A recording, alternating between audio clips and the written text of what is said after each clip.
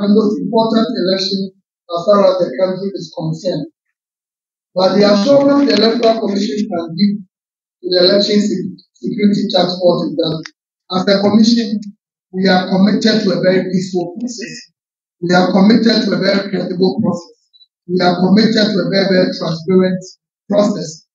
As a result of that, all the necessary measures that must be put in place to ensure that as a country we witness another credible election. We have been able to do that. We've done the limited voter registration exercise.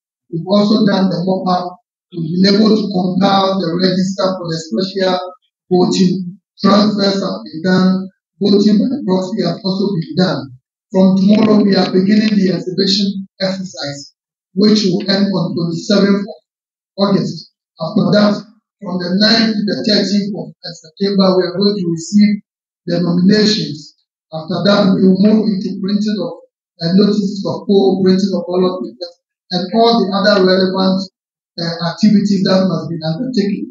We are also working with all the political parties. So as far as the electoral commission is concerned, we believe that we are going to have another credible, another successful election, and Ghana will continue to be a beacon of light, a beacon of hope as far as organizing credible elections is concerned. Since the commencement of the whole election process, we've been in and out of this place, all in the spirit of engagement, in the spirit of working together to ensure that from the security point of view, there is peace, security, law, and order before, during, and beyond the elections. We are, by design and a divine design, related to each other. And therefore, we are so connected that whatever happens to one affects all. So with this mindset, we are in a good place when it comes to preparing ourselves for a simple exercise of electing our leaders.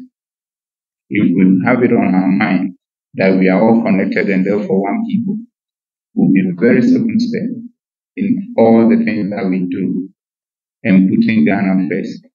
And this is why we are here today to come and put Ghana first and our individual interests second or with no position because we are only relevant when Ghana is at peace with itself.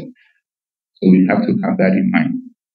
You cannot be at peace with yourself when the country you live in, which is the bigger picture, is not at peace with itself.